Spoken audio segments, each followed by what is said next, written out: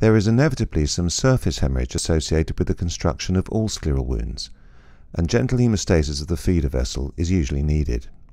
This is best achieved using a fine gauge bipolar brush. Occasionally, however, deeper perforating vessels within the sclera may be damaged, resulting in reflux of blood into the eye. Typically, these are small vessels that cause only a gentle trickle of blood, as in this case. However, this needs to be dealt with promptly to prevent further accumulation of blood in the chamber. This can usually be readily achieved just by elevating the intraocular pressure using BSS to seal the main incision and then to tamponade the bleeding through one of the side ports. You can also use viscoelastic as a temporary measure if you prefer. If the bleeding isn't properly controlled at the time of surgery or a deep and larger vessel is involved, then a brisk hemorrhage like this can occur either at the time of surgery or during the early postoperative period.